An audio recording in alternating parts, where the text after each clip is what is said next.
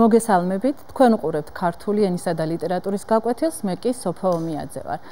დღევანდელი გაკვეთილი მე მინდა დავიწყო წინა გაკვეთილზე შესწავლილი იგავ არაკის პერსონაჟის მეფის დახასიათებით.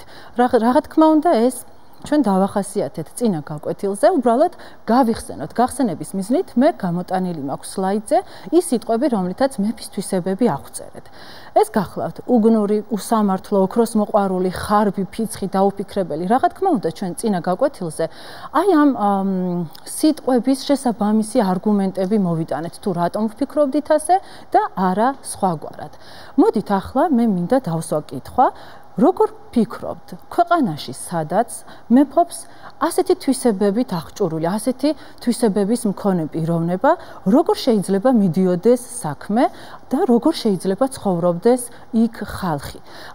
ალბათ არ არის ძნელი მისახვედრი, რომ ცხოვრება ნამდვილად დუხჭირი იქნება და ხალხსაც გაჭირვებაში და უსამართლობაში მოუწევს ცხოვრება. აქვე მინდა გკითხოთ, თუ ეს თვისებები, რომელიც ჩამოვთვალეთ, მეფისთვის შეუფერებელია, მას რომელი და როგორი თვისებებით უნდა იყოს იგი აღჭურვილი? ან ხომ არ გახსენდებათ ჩვენი ქვეყნის ისტორიიდან რომელიმე წარმატებული მეფე, რომელმაც თავისი სახელი თავისივე გმირობითა და თავისი კეთილი საქმეებით უკვდავყო? რა თქმა უნდა, თქვენ მეტყვით, რომ ბევრი ყავს საბედნიეროდ და არაერთს გაიხსენებთ. იქნება ეს დავით აღმაშენებელი, თამარ მეფე, გიორგი ბრწყინვალე და სხვანი და სხვანი. მაგრამ დღეს მე მინდა გესაუბროთ ერთ-ერთ მათგანზე, რომლის ისტორიასაც, ბიოგრაფიასაც ცოტა მოგვიანებით გაგაცნობთ. მაგრამ აქვე ჩაგეკითხებით, მას როგორი თვისებებით უნდა ხასიათდებოდეს მეფე, რომელიც ქვეყნისთვის სამართლიანი და კარგი მართველი იქნება. რა თქმა უნდა, ეს იქნება გონიერება, იგი უნდა იყოს გულუხვი, მამაცი, კაცთმოყვარე, სამართლიანი, ძლიერი, კეთილი, განათლებული და გულმოწყალე. აი სწორედ ერთ-ერთი ასეთი მეფე არის დემეტრე მეორე თავდადებული და მოდით გავეცნოთ თუ ვისი შთამომავალი არის იგი. დარწმუნებული ვარ, რომ თქვენ ბევრი ხსმენიათ თამარ მეფის შესახებ, რომელსაც ყავდა ორი შვილი, ქალ ვაჟი, ლაშა გიორგი და რუსუდანი. რუსუდანს თავის მხრივ შეეძინა ქალ ვაჟი დავით მეექვსე ნარინი და თამარი, რომელსაც მოგვიანებით გურჯი ხათუნი უწოდეს. აქვე მოდით ძალიან მცირე ისტორიას წარმოგიდგენთ მათი ცხოვრებიდან.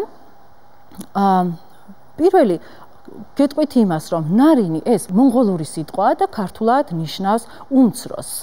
ხოლო რაც შეიძლება ვთქვათ თამარზე, რომელსაც მოგვიანებით გურჯი ხათუნი უწოდეს, ანუ ქართველი ქალბატონი, იგი გაათხოვეს რუმის სულთანზე, რომელმაც მას სიყვარულის ნიშნად მოუჭრა მონეტა, სადაც მზის დისკოში მისი სახე არის ამოტვიფრული და მის მზის ქვეშ კი არის ლომი, ანუ თვითონ აი ამ რუმის სულთნის სიძლიერის სიმბოლო და გამოხატულება. მოდით აქვე გაჩვენებთ მე აი ამ მონეტას, სადაც თქვენ კარგად ხედავთ მზის დისკოში თამარის სახეს, ხოლო რუმის სულთნის იძლიერე გამოხატულია, როგორც ვთქვით, უკვე ლომის გამოსახულებაში. ახლა კვლავ დავუბრუნდეთ თამარის მეორე შვილის ლაშა გიორგის შთამომავლობას. ლაშა გიორგის შეეძინა ვაჟი დავით მეშვიდე ულუ. ულუ ეს ნიშნავს უფროს. ხოლო დავით ულუს დავით ულუ და დავით მეექვსე ნარინი ისინი ძალიან შეხმატკბილებით შეიძლება ითქვას. მართავდნენ ერთდროულად საქართველოს ერთი აღმოსავლეთ საქართველოსში მეფობდა მეორე კი დასავლეთ საქართველოსში. დავით ულუს თამამავალი კი გახლავთ დემეტრე თავდადებული რომელზედაც დღეს ჩვენ უნდა ვისაუბროთ. მაგრამ მანამდე სანამ მე მის ბიოგრაფიას წაგიკითხავთ და მის გმირობებზე მოგიყვებით მანამდე შეგეკითხებით რა შეიძლება გააკეთოს ადამიანმა ისეთი, რომ მას ქართულმა ხალხმა უწოდოს თავდადებული და ისტორიამ იგი როგორც თავდადებული მეფე ისე შემოინახოს. თქვენ იმედი მაქვს, რომ პატარა მონახაზივით ჩამოაყალიბეთ თუ რა შეიძლება გააკეთოს პიროვნებამ იმისთვის, რომ თავდადებულის სახელით ისტორიაში დამკვიდრდეს და ახლა კი მე გადავალ შემდეგ სლაიდზე, სადაც გაგაცნობთ მეფის დაბადებას და მის მცირე ისტორიას. იგი დაიბადა დაახლოებით 1259 წელს, ხოლო გარდაიცვალა 1299 წლის 12 მარტს.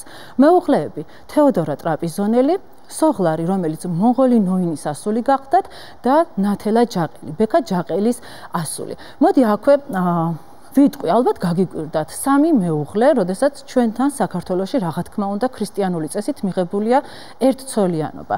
სწორედ ეს მისი სამცოლიანობა იყო იმის მიზეზი, რომ კათოლიკოსმა იგი შეაჩვენა, მაგრამ სწორედ ამავე კათოლიკოსმა იგი წმინდანად შერაცხა სწორედ მისივე კეთილის აქციელის გამო, მაგრამ აქვე უნდა დავძინო, რომ მისი სამცოლიანობაც იყო რაღა თქმა უნდა საქართველოს პოლიტიკური ინტერესებიდან გამომდინარე.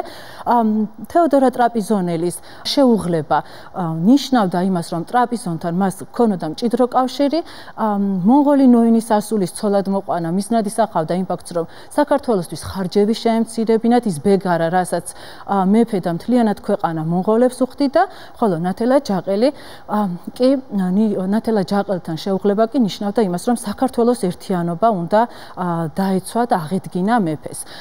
ასევე შეიძლება ითქვას, რომ მეფე დემეტრე მეორეს სამივე მეუღლესთან შეეძინა შვილები, თუმცა ნათელა ჯაყელთან შეძენილი ვაჟი გიორგი მეხუთე ბრწყინვალე გახდა მისი მემკვიდრე და აქვე დავძენ იმასაც, რომ ბრწყინვალე სწორედ გიორგი მეხუთეს დაერქვა მისი საქმეების და საქართველოს გამთლიანების გამო მან მოახერხა მონღოლების განდევნა საქართველოსთან და აღმოსავლეთ და დასავლეთ საქართველოს გაერთიანება.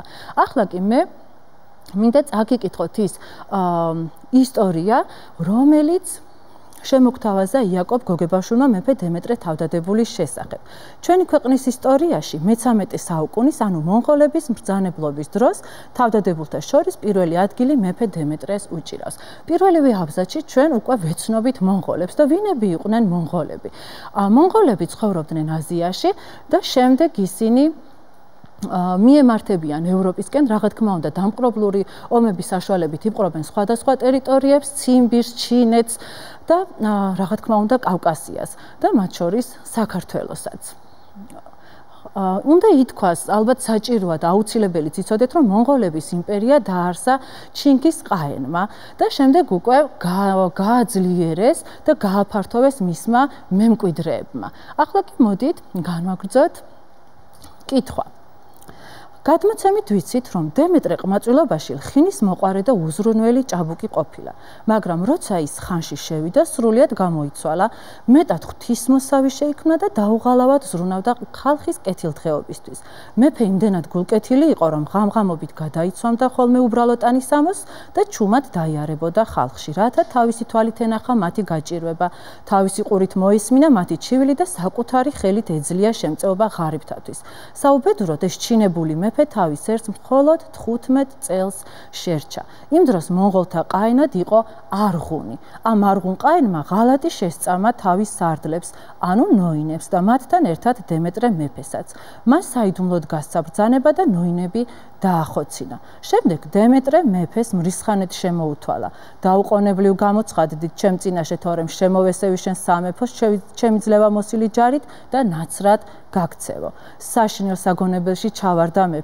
რომ წავიდე, უთუოდ მომკლავს ხვებსავით და ჩემი ქვეყანაც ობლად დარჩება. რადგანაც ჩემი მემკვიდრე ჯერ ჩვილი ბავშვია. თუ არ წავალის ურჯულო შემოესევა ჩემ სამეფოს, გადაწვა სოფლებსა და ქალაქებს. გაჟლეც მაცხოვრებლებსა და ნაოხრად მიქცევს ქვეყანასო. მოიწვია კათალიკოსი, დიდებულები ერისთავნი და რჩევა მოითხოვა. ყველამ ძლიერი უარა მეფის წასვლას თხოვეს. მეფეს ნუინენებ, ნუინებებ წასვლას იმ ტარვალთან. ნუ მოაკლებ მზრუნველ მამას ქვეყანას, ნუ დაგვაობლებო. შევებრძოლოთ მტერს და თუ გძლია, გავიხიზნოთ მთებშიო. მეფემ უპასუხა: "ტერი მეტად ძლიერია. ჩვენ კი სუსტნი ვართ, ბრძოლა შეუძლებელია. ჩვენ იმას ვერ შევეკავებთ და იგი მთელ ჩემს სამეფოს სისხლსა და ცრემლის ზღვად გადააქცევს. მსხვერპლი აქ აუცილებელია. ან მეფემ უნდა დასდოს თავი ერისთვის, ან ერი უნდა ემსხვერპლოს მეფეს. და რადგან ერთის ტანჯვა და სიკვდილი უსომოდ უკეთესია მრავლის ამოშლეტაზე, ამიტომ მე გადავწყვიტე, წავიდე მონღოლთა ბრძანებელთან, მივიღო მისგან სასჯელი და ამით ავიცილო ხალხის დიდი უბედურებაო. კათალიკოსმა მოუწონა მეფეს ასეთი თავდადებულობა, რამაც მეფე მეტად გაახარა. ხალხმა რომ ეს შეიტყო, მოიყარა თავი და ცრემლით ევედრებოდა მეფეს წასულაზე უარი ეთქვა. ჩვენ ყველანი მზად ვართ, ერთ დღეს დავწყდეთ შენი გულისთვისო. ასეთი გულმხურვალე სიყვარულის გამოცხადებამ კიდევ უფრო აღაფრთოვანა მეფის წმინდა წადი. წადი იგივე სურვილი და ნდომა. მან ხალხს გულითადი მადლობა გადაუხადა და წასასვლელად მოემზადა. თავისი ჩვილი მემკვიდრე მეფე დაღიარა. მის ერთგულებაზე დააფიცა წარჩინებულნი. გაიყოლა თან კათოლიკოსი და მცირე ამალით გაუდგა გზას. საუბედუროდ ის რასაც მეფე მოელოდა, სავსებით აღსრულდა. მონღოლთა ბრძანებელმა დაუყოვნებლივ გასცა ბრძანება დემეტრეს სიკვდილით დასჯისა და ჯალათის თავი მოაკვეთინა. მოკვდა თავდადებული მეფე, მაგრამ ხალხი კი იხსნა საშინელი განსაცდელისაგან. ტარვალმა იკმარა ჯავრის სამოსაყრელად მეფის სიკვდილი და საქართველოს ხელი აღარ ახლო. აი აქვე მე გაგახსენებთ იმ შეკითხვას, თუ რატომ ეწოდა მეფეს თავდადებული და რა თქმა უნდა ტექსტში თქვენ ნათლად დაინახეთ მისი თავგანწირვის ამბავი და რა თქმა უნდა რომ სწორედ ამ თავგანწირულობისა და სიცოცხლის მსხვერპლად შეწირვის გამო მიიღო მან ასეთი წოდება მეფე თავდადებული. ახლა კი მოდით ტექსტი გავიაზროთ თვითონ მეფე დემეტრეს პერსონაჟის დახასიათებით. პერსონაჟი მეფე დემეტრე. რას ფიქრობს მეფე დემეტრე? როგორ დაეხმაროს სამშობლოს. ასევე საინტერესოა რასაკეთებს იმისათვის, რომ სამშობლოს დაეხმაროს, არა? იგი გადაცმული დადის ხალხში და ცდილობს მათ დახმარებას და მათი ჭირვარამის თუ სიხარულის გაზიარებას. რას ამბობს? საინტერესოა. იგი ამბობს, რომ სამშობლოს გადარჩენა ურჩევნია საკუთარი სიცოცხლის გადარჩენას, სადაც მისი გამბედაობა და სიმამაცე ჩანს რა თქმა უნდა და პირველ რიგში სამშობლოს სიყვარული, თორე ის რაც არ გიყვარს, მისთვის თავსაც არ გასწირავ და მეთანხმებით. რას გრძნობს? თქვენ როგორ გონიათ, რა შეიძლება იგრძნოს ადამიანმა, როდესაც იცის თუ რა დღეს დააყრის არღუნ ყაენი? რა თქმა უნდა, ჩვეულებრივი მოკვდავისთვის, ნებისმიერი მოკვდავისთვის დამახასიათებელია ამ დროს შიში.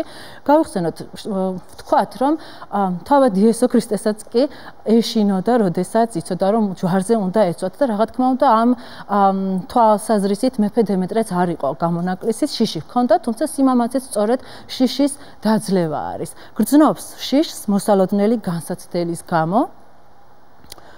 თუმცა რა შედეგს ვიღებთ მისი საქციელისგან? ქვეყანას გადაარჩენს იგი და მისი საქციელი რა თქმა უნდა აოხრებას. და ასევე მთავარია გმირის მიზანი. გმირის მიზანი კი გახდათ სამშობლოს მტრისაგან დაცვა.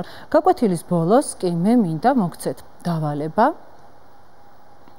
თხრობა თხრობელის შეცვლით. გადმოეცით ამბავი არღუნ ყაენის პოზიციიდან, როგორ მოყვებოდა ყაენი არღუნი დემეტრე მეფის თავდადების ამბავს. იმისათვის რომ დავალება შევასრულოთ, უნდა გავითვალისწინოთ, თუ ვისთვის შეიძლებოდა მოეყოლა ყაენს ქართველი მეფის თავდადების ისტორია. როგორ გონიათ მოეწონებოდა თუ არა მონღოლ მართველს დემეტრეს თავგანწირვა და რის მაგალითად აქცევდა ყაენი მომხდარ ამბავს. როგორ უნდა დაისაჯონ მოღალატეები თუ როგორ უნდა უყარდეთ ადამიანებს სამშობლო. ეს იყო ტელესკოლის ქართული ენის გაკვეთილი. ამე კი მომავალ შეხვედრამდე გემშვიდობებით. Thank you.